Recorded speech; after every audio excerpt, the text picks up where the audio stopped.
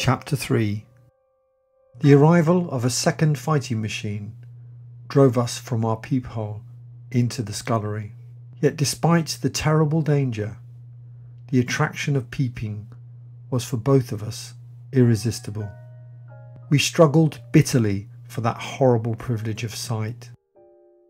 We would race across the kitchen in a grotesque way and strike each other for a few inches of exposure.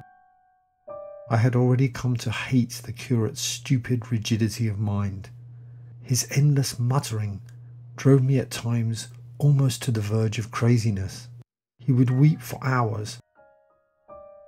I would sit in the darkness, unable to keep my mind off him. As the days wore on, his lack of any consideration intensified our distress and danger. Much as I loathed doing it, I had to resort to threats and at last to blows. It is disagreeable for me to recall and write these things. Those who have escaped the dark and terrible aspects of life will find my brutality, my flash of rage in our final tragedy, easy enough to blame. But those who have been under the shadow, who have gone down at last to elemental things, will have a wider charity.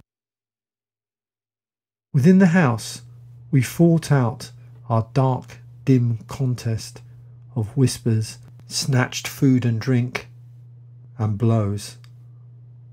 Outside, in the pitiless sunlight of that terrible June, was the strange wonder of the Martians in the pit.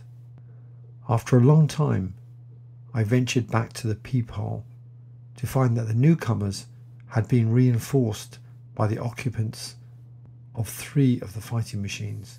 The second handling machine was now complete. The curate had possession of the slit when the first men were brought to the pit. I was sitting below, huddled up.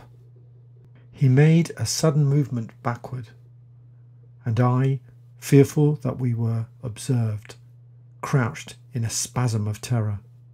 He crept beside me in the darkness, inarticulate, gesticulating. For a moment I shared his panic, but after a little while my curiosity gave me courage. I rose up, stepped across the curate, and clambered up to the slit. At first I could see no reason for his frantic behaviour. And then, amid the clangor of the machinery, came what sounded like human voices. I crouched, watching the fighting machine closely. As the green flames lifted, I could see the brightness of his eyes. Suddenly, I heard a yell. I saw a long tentacle reaching over the shoulder of the machine to the little cage that hunched upon its back. Then something, something struggling violently, was lifted high against the sky. As this black object came down again, I saw by the green brightness that it was a man. For an instant he was clearly visible. He was stout, ruddy, a middle aged man, well dressed. I could see his staring eyes. He vanished behind the mound, and for a moment there was silence. And then began a shrieking and a sustained and cheerful hooting from the Martians. I slid down the rubbish and struggled to my feet. Capping my hands over my ears, I bolted into the scullery. The curate, who had been crouching silently with his arms over his head, looked up as I passed. He cried out quite loudly and came running back after me.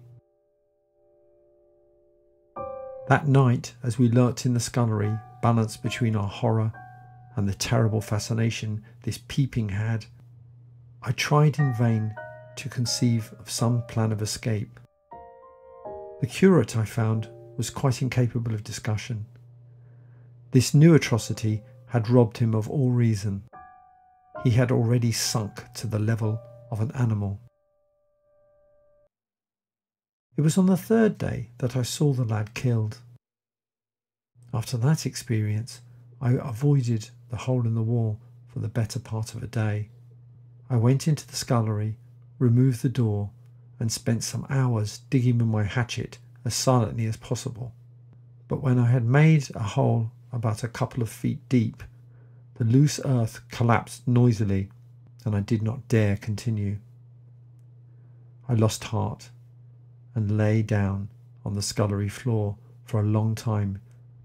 On the fourth or fifth night, I heard a dog howling. Then I heard quite distinctly a booming exactly like the sound of great guns.